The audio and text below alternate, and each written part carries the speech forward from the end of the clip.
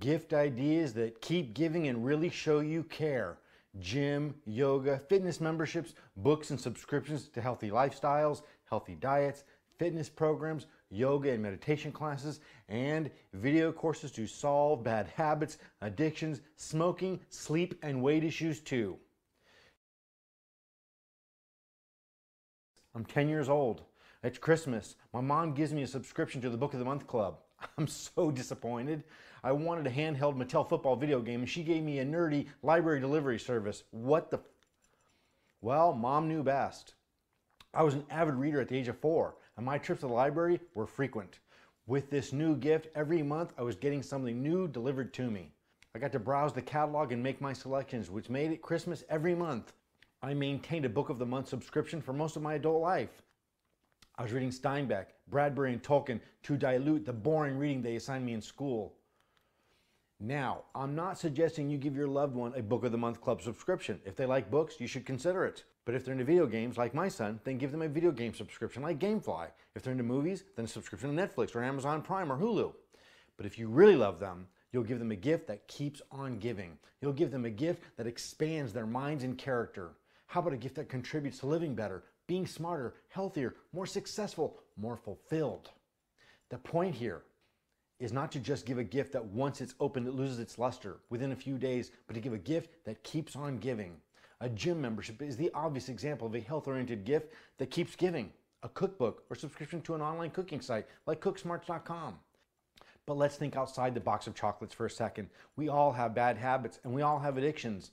To quote from my award winning book, Project Addiction The Complete Guide to Using, Abusing, and Recovering from Drugs and Behaviors, we are all addicts. We are all slaves to desires, needs, and hopes for a happy existence. We are all searching for ultimate peace and pleasure, thereby making us all addicts, varying only in degree and in expression.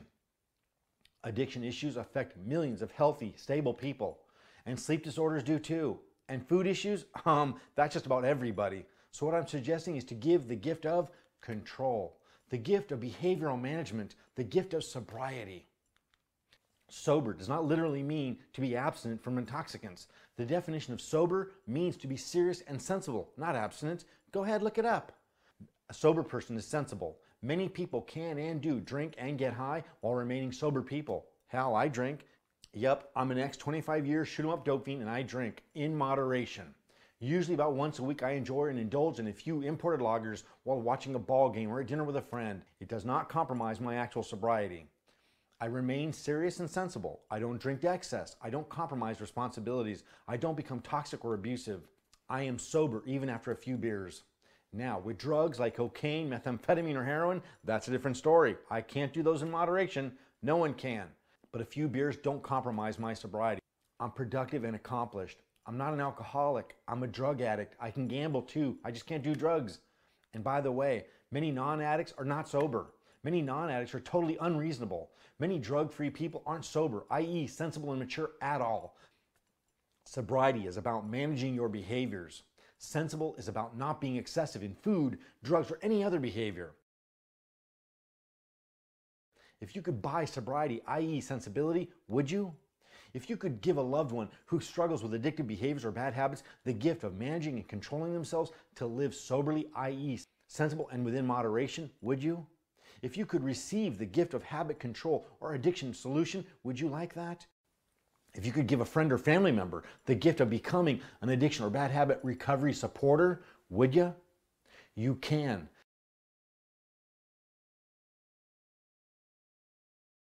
Same as a gym membership, same as a Book of the Month Club subscription, same as a weight loss program, you can give someone the tools and strategies to create and sustain sobriety and to solve bad habits. Self control is not a miracle. Healthy lifestyles are not genetic. Sobriety is not magic. Like getting in shape, it's a process. To get in shape, you go to the gym. You go there to use the equipment they have to exercise with. You go there to get motivation in the spin class, instruction in the yoga Pilates class, and coaching in weight training. By using these tools, you get in shape. You pay your monthly subscription dues and then get your ass over there and do the best you can by using what they provide you to be fit. See, not magic, not miracles, commitment and effort. Same with sleep training, same with sobriety and bad habit control. You can learn and solve it the same way. Get the knowledge and apply the strategies. Get the equipment, the coaching, and the strategies, and over time, results manifest. While the results do indeed vary from person to person, improvement from participation and effort is inevitable. The only way to improve the scenario would be if self improvement programs guaranteed their results. But they really don't need to, do they? The degree of results may vary from person to person, but absolutely everyone who shows up at the gym and works out regularly definitely improves. This formula holds true for everything. If we have the right equipment and the right leadership, we will improve. We may not know how much smarter someone's going to get by going to college classes, but if they get to class and do the work they're assigned, they will get smarter. But if we have the wrong equipment and leadership, we will fail, no matter how hard we try. if your gym has a TV room with a recliner chair and no one qualified to motivate and instruct you, you ain't to improve. You may get worse.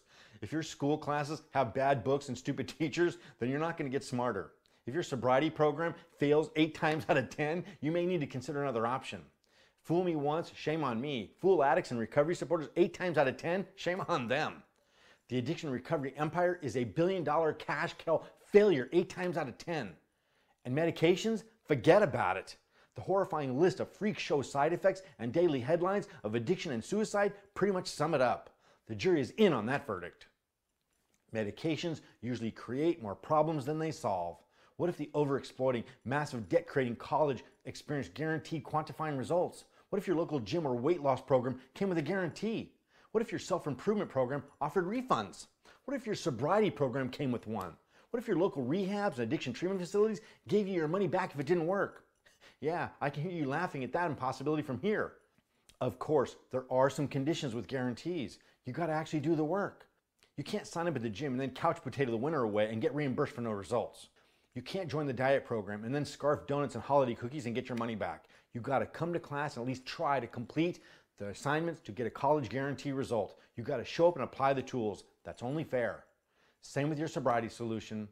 Pick a good one with a high success rate, go to class, do the work, and get results or get your money back. Well, guess what? Project Addiction Solution is guaranteed. Do the video course, and if it doesn't solve your drug, shopping, gaming, sex, food addiction, then you get your do re mi back. So far, Project Addiction Solution has 100% success. Okay, I admit it's a bit new and only has 134 graduates, but still 100% of them have solved their addictions. And the count of successful graduates from Project Addiction Solution is growing. Before I created the video course, I solved thousands of addictions with a 90% success rate as a private counselor. Recovery Empire, 92% failure. Project Addiction Solution, 92% success. The gift of sobriety and habit management is a gift that keeps giving. You can give that solution. You can give that membership to someone you're concerned about or to yourself. Project Addiction isn't just a gift for one person, it's a gift for the whole family. Not only can the addicted bad habit family member do the video course, but the recovery supporters can too. The loved ones being most affected by an addict need to learn how to manage, intervene, and coax their addicted loved one away from a using mentality to a recovery mentality. They need to learn how to support and how not to. And if it doesn't work, you get your money back. Same as with most Christmas gifts. What's the second biggest shopping day of the year? The day after Christmas because of all the returns. You need to know if you bought the wrong size or color, you can get your money back. Any store that wouldn't allow returns would be out of business because no one would trust them. Well, same with sobriety programs. If it ain't returnable or guaranteed, then the manufacturer must not have real confidence in it. What you need for sobriety is a solution, a plan, a strategy like a gym or a diet, something that if you show up and apply it, you will get the results. And in a perfect world, the perfect solution comes with a guarantee. Project Addiction Solution can't make it a perfect world, but it can solve addiction guaranteed. Sobriety is not magic or miracles. Sobriety is having a smart and sensible strategy to become smart and sensible. Merry Christmas, Happy Holidays, Happy New Year coming up.